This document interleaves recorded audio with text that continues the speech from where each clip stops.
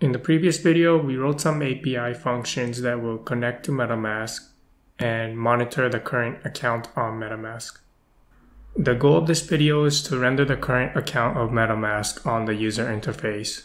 So for example, when we change the current account of MetaMask from account number 2 to account number 3, the account rendered here should also equal to account number 3. And the way that we're going to accomplish this is by storing the current account using React context and then rendering it.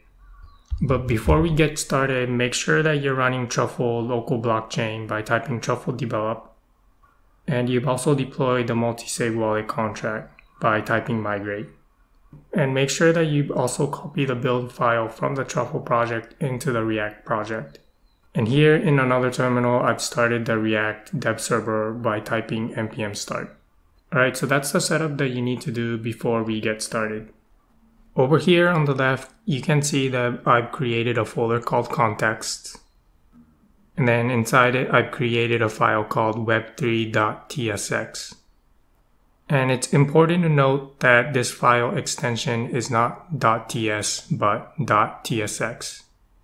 And for all React components, you'll have to use the extension .tsx. Inside web3.tsx, we'll first import some functions from React. And I'll explain what these functions are used for as we go along. We're also going to need web3 Lastly, we're going to need to subscribe to account function from the API web3 file. And this is the function that we wrote to monitor the current account of MetaMask. The first thing that we'll do is declare the state that we're storing. So here we're saying that we're going to store the account as a string. And we'll also store web3 as either an instance of web3 or null and here we're saying Web3 or null because when we first initialize the app, we won't have an instance of Web3 until the user unlocks their account. So this value of Web3 will be null until the user unlocks their account. We'll declare the initial state as account being an empty string and the Web3 instance being null. Next, we'll define some actions that can be performed on the state. And the only action that we need is the ability to update the account. And this action will be passed to the reducer, which will update the state.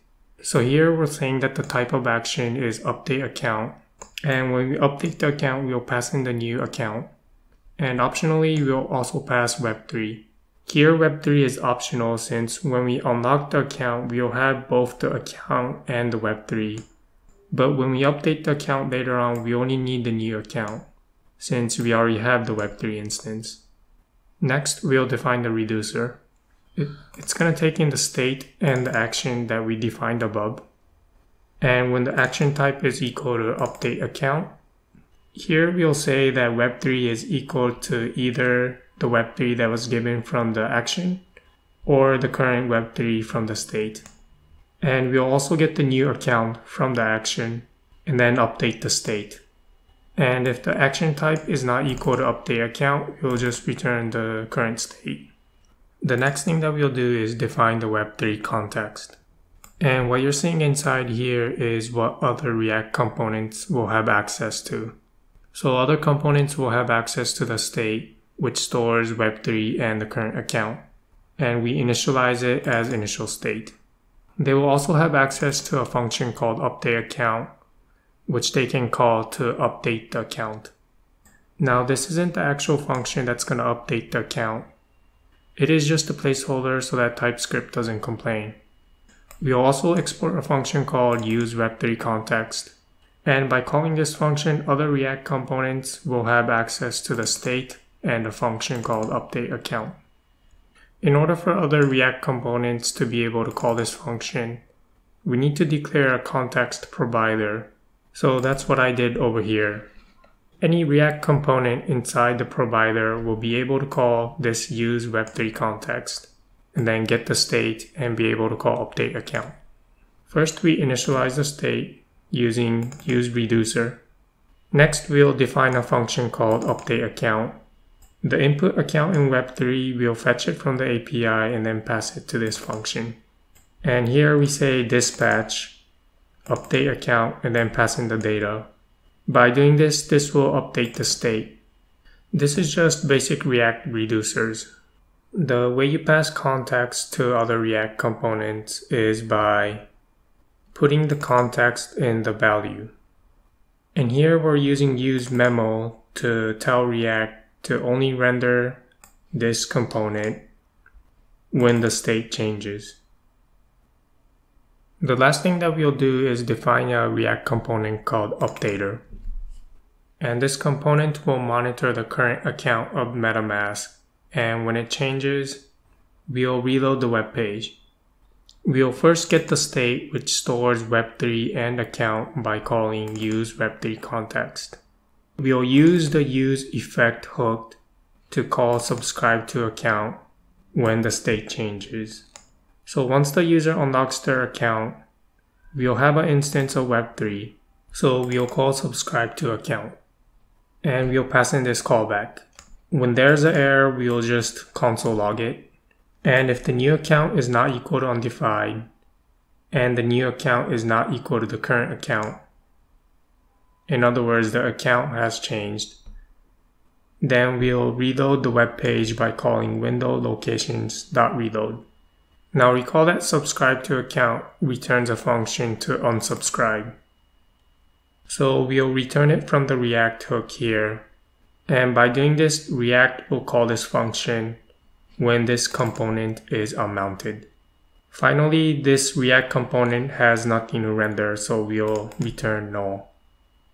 Okay, that completes the code for Web3 context, but let's just quickly go over what we just did. We first declare the state that we're going to be storing in the Web3 context. And what we're storing is the current account and the Web3 instance.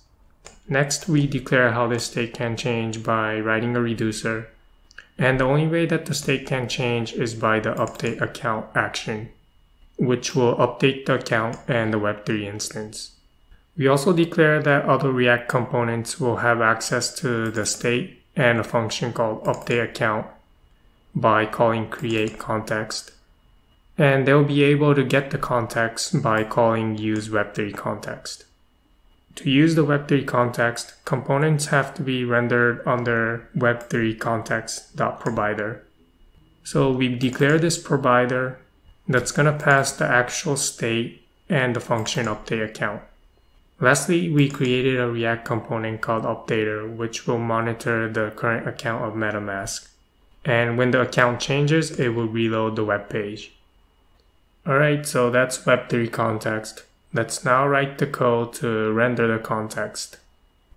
The first thing that you need to do in order to use Web3 context is open index.tsx. And then we'll import the provider and the updater component. Next, we'll put Web3 provider as a parent of app. And this will allow all React components inside app to have access to Web3 context. And the last setup that we need here is to put Web3 updater inside Web3 provider. So now this component will be monitoring the account of MetaMask. And note that since this is using Web3 context, this component has to come under Web3 provider. We're now ready to render the account stored in Web3 context. Since we initialized the account stored in Web3 context to be an empty string, when we load this page, the account should be blank. First open app.tsx. And since this app component is rendered inside Web3 provider, we have access to Web3 context. And the way you get the Web3 context is like this. We first import use Web3 context from context slash Web3. And we can get the current account stored in Web3 context by calling use Web3 context. And the account will be stored inside state. And this account should be an empty string. So let's see. Hit save and then let's check back on our browser. You can see here that our account is rendering an empty string. If you go back to Web3 context and then change the account to something like 0x123, hit save, And you can see here that the account is now rendering 0x123. Alright, so we know that our Web3 context and our React app is now connected. Let's now try to write the code so that when we hit connect, it will unlock the MetaMask account and then render the current account of MetaMask over here. Back in app.tsx, I've imported unlock account from API slash web3. Now, when you call an asynchronous function, you usually want to render like a loading state. So for example, when we call connect to MetaMask, the button will show like a loading user interface. And once that is done, we'll remove the loading animation. Back in app.tsx, when the user clicks the connect to MetaMask button, we'll call the unlock account function. And since this is an asynchronous function, we'll render like a loading animation. Once unlock account completes, we'll remove the loading animation.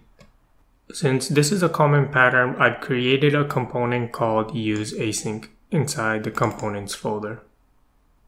The way you use this use async component is by passing the async function. In this case, we're passing unlock account. And this function will return three things. The current state of the asynchronous function will be stored in a boolean value called pending. If the asynchronous function fails, it will be stored in a variable called error. And you can call this asynchronous function by calling the call function. When the user clicks on the connect to MetaMask button, we'll call the onClick connect function up over here, which we'll define later. And inside here, we'll call the unlock account by calling call. And when we call this call function, the variable pending will be equal to true. So over here, back in the button component, we'll render a loading animation by saying loading equals pending. When the onClick connect function is called, we'll call the call function and pass in null. The reason that we're passing null here is because I'm not a TypeScript expert. In this case, I don't want to pass any inputs, but I couldn't get TypeScript to not complain. So that's why I'm passing a null here and saying that there is no input. What's important here is that when you call call, it will return either the error or the data. Error is self-explanatory, but for data, if there's data, it will return the Web3 instance and the account. So here we'll say if there's an error, we'll just log it. And if there's data, we somehow need to update the account. And remember that we can get the function to update the account from the Web3 context. So we'll get the function update account. And over here, we'll say update account and passing in the data. So that completes the UI to connect to MetaMask. Let's now give it a try. Back in the browser, I hit connect to MetaMask and since we're not logged into MetaMask, you can see that the MetaMask pops out. And you can also see here that the button is rendering a loading animation. So here, back in MetaMask, I'm gonna type in my password and then hit connect. And you can see that the loading animation is gone and we're rendering the account from MetaMask. Remember that we wrote Web3 Updater component which monitors the changes to the account and if the account changes, then it reloads the web page. Let's test that it works in our user interface. So I'm going to open MetaMask and then change the account from account number 3 to account number 2. And that was quick, but you can see that the web page reloaded. I think this is a good point to stop and I'll put the link for the code in the descriptions below so that you can take your time to digest and fully understand how the code works. As an optional challenge, you can try monitoring the network of MetaMask and then rendering the network over here. Again, thanks for watching and see you soon.